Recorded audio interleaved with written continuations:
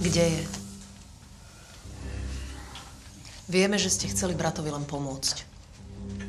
Ak sa teraz priznáte, tak máte šancu znižiť si trest. Ako vám asi bude zajtra, Tomáš?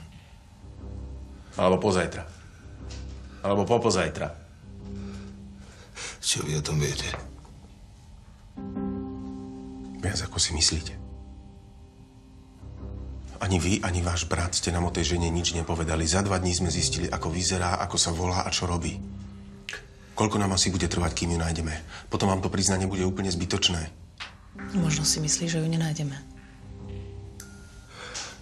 Takže je to tak? Keby ste sa nechceli priznať, tak sa asi nevzdáte prvým dvom policajtom, ktorých stretnete. Naposledy. Kde je Anna Zohnalová? Počkaj, krv mal na sebe on. Tak možno je Jozef ten, čo sa snažil veci upratať. Zabili ste ju? Ja, ja, ja ničomu nerozumiem. Vôbec. Je to jednoduché. Váš brat si o vás myslí, že ste obyčajný naivný hlupáčik. Alkoholik.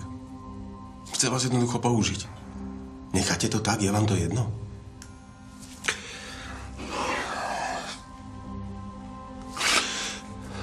Jozef povedal, že máme ísť. Tak ja, ja, som, ja som nevedel kam. Š- šoferoval on. A kam ste išli?